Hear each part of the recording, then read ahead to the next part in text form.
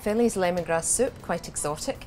I've gone for an exotic wine. This is an Assyrtiko from Greece. Assyrtiko is a local grape variety there, very well known in Greece, but it matches beautifully with seafood, it matches with cheese, and in this case, the wine really lifted the flavour of the lemongrass from the soup. Dublin Coddle as a starter, bold move, so therefore a bold red to go with the starter. This is a Dolcetto from Italy. It's not about oak, it's about fruit and lots of it. It goes well with any kind of rich savoury dish and if you want you can even serve it chilled. That's an option.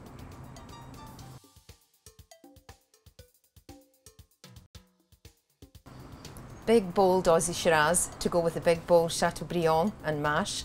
This is a Shiraz from Australia, chunky, concentrated, dark, black, red fruits, loads of flavour to go with that really flavoursome Chateaubriand. It's a great compliment.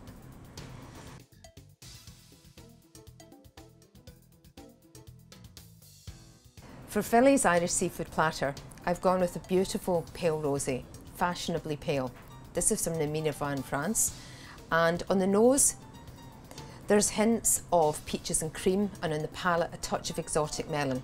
When it comes together with the seafood, the whole thing works beautifully, like a wonderful cocktail.